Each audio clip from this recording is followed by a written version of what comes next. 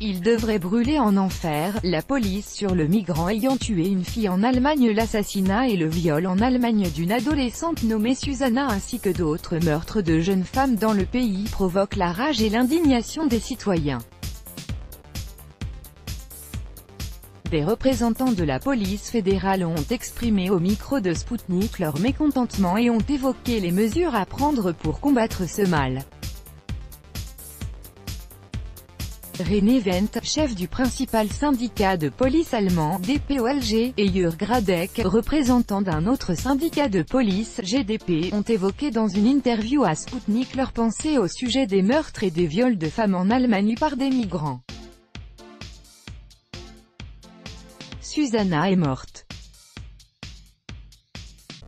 Il reste non seulement de la tristesse et de la stupéfaction mais également une grande colère et l'indignation, a écrit René Wendt sur sa page Facebook ajoutant qu'il était inquiet de l'avenir de son pays, que deviendra notre pays si on tolère que les gens entrent, commettent de nombreux crimes, voire des crimes terribles, et se déplacent encore librement, manifestement prêts à frapper à tout moment, que deviendra notre démocratie si ceux qui sont élus persistent à ignorer la volonté de ceux qui leur ont donné le pouvoir? Et je pense aussi aux criminels. Est-ce que je les verrais vraiment dans un tribunal, avec sur le visage un ricanement sarcastique pour la victime et le mépris pour notre pays? Ils devraient brûler en enfer, c'est ce que je veux, a affirmé M. Wendt. La présidente du Parti alternative pour l'Allemagne, AFD, Alice Wedel, a également manifesté sa colère dans une vidéo postée sur sa page Facebook.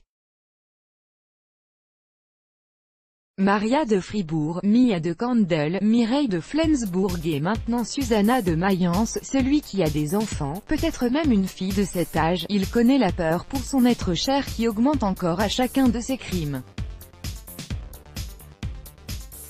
La mort de Susanna est le résultat d'années d'irresponsabilité organisée et d'échecs politiques flagrants dans les politiques d'asile et d'immigration. Susanna est une autre victime de la politique d'accueil hypocrite et égoïste de la chancelière Angela Merkel, a-t-elle dit René Wendt comprend bien cette colère, a-t-il dit à Sputnik. La colère vient du fait que les gens ne peuvent pas comprendre que ces actes viennent de personnes qui n'appartiennent même pas à notre pays. Autrement dit, ils n'auraient jamais dû être autorisés à entrer et ils n'ont pas le droit d'être ici, souligne le policier. Est-ce que Merkel a vraiment échoué? Mais est-ce que le discours de Madame Wedel correspond à la réalité? Dans quelle mesure les infractions d'homicide et de viol ont-elles augmenté depuis l'adoption de la politique d'immigration en 2015 Et y a-t-il des liens entre la politique d'immigration et une augmentation sensible de la criminalité? Jörg Radek a évoqué ces questions au micro de Sputnik. Dans le tableau de la situation nous ne pouvons pas dire qu'il y a une anomalie particulière, il y a une anomalie, mais cela est lié au fait que plus de gens vivent dans le pays, et là où vivent plus de gens, vous avez automatiquement une augmentation de la criminalité, peu aussi entre eux-mêmes, pas nécessairement entre les étrangers et les résidents, mais aussi entre étrangers, a-t-il expliqué. Cependant, M. Wendt ne partage pas ce point de vue et estime que, bien que le nombre d'infractions enregistrées ait baissé, cela ne dit rien sur la sécurité objective dans ces secteurs. Il a aussi précisé que le nombre d'attaques au couteau avait augmenté dans le pays ces derniers temps. Sentiment subjectif, M. Wendt souligne cependant que la plupart de crimes sont commis par des ressortissants allemands, évoquant par là le caractère trompeur de multiples reportages sensibles sur la délinquance des migrants. Le lien direct entre l'augmentation de l'immigration et une augmentation de la criminalité ne peut être tiré, selon le syndicaliste, ajoutant que, la grande majorité, plus de 95 à 98% de ceux qui sont venus chez nous, ne commettent aucun crime.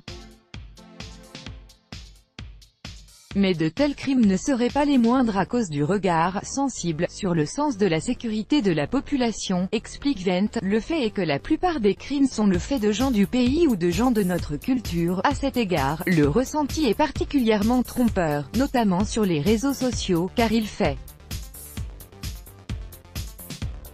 de chaque crime un événement national, affirme le président du DPOLG et ajoute, mais seulement de ceux qui les ont sélectionnés, le lien direct entre l'augmentation selon le syndicat, l'immigration et l'augmentation de la criminalité ne peuvent être réalisés, parce que la grande majorité, beaucoup plus que 95 à 98% de ceux qui sont venus chez nous ne commettent pas de crimes.